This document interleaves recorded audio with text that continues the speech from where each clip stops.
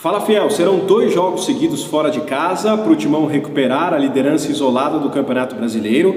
E nada melhor que essa semana cheia, preparação para esses jogos contra o Atlético Goianiense e Cuiabá, tempo para recuperar os atletas, principalmente corrigir erros, aperfeiçoar as qualidades deste elenco.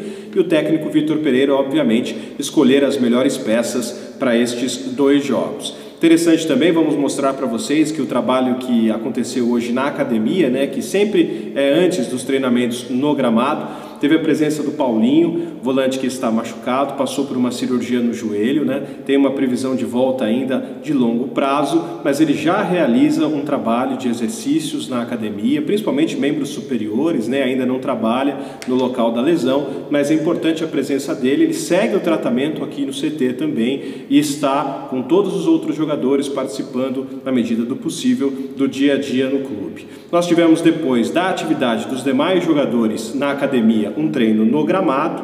Nessa parte, os atletas fizeram né, uma movimentação ofensiva, cruzamentos, finalizações e, por último, um trabalho tático.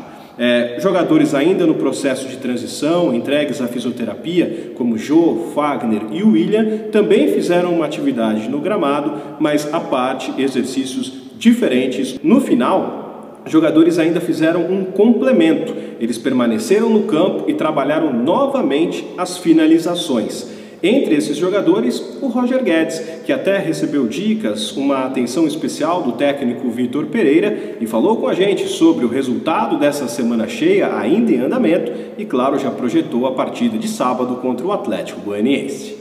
Está sendo uma preparação muito boa, semana cheia, fazia tempo que a gente não tinha, então isso faz, faz bem para nós, todos os atletas. E esperamos um jogo difícil lá em Goiânia agora, então vamos com busca dos três pontos lá primeiramente.